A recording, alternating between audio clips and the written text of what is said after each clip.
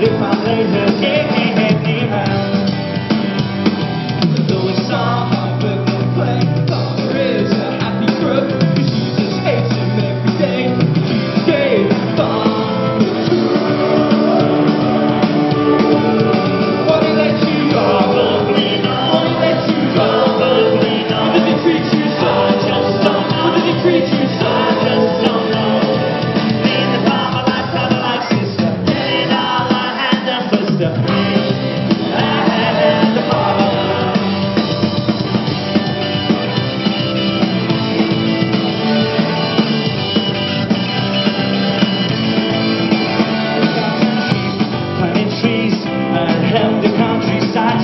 hungry doctors, good in thoughts, and works right around the clock.